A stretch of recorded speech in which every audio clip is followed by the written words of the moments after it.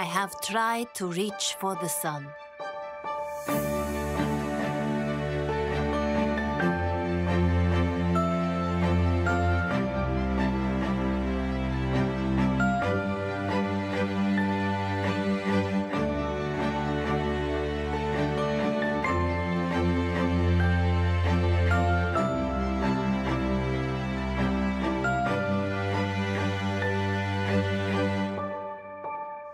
I was only 11 when a simple school experiment made me intensively curious about chemistry.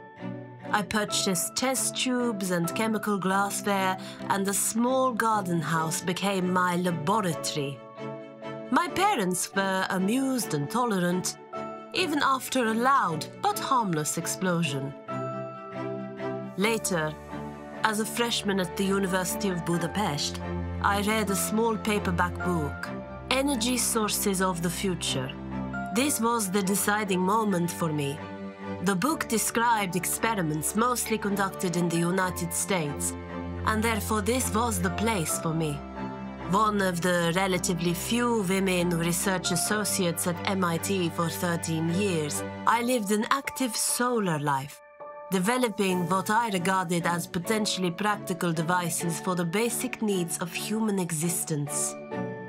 The key word of our conference is focus on the future, centering to some extent on the great untapped potential, the brain power of women in the scientific and engineering fields. Would it be possible to appeal to you to turn with interest to our greatest untapped energy source, solar energy? It is most appropriate that our untapped potential should develop the untapped energy source for the greatest benefit of humanity. Perhaps there will be some of you who will also reach for the sun.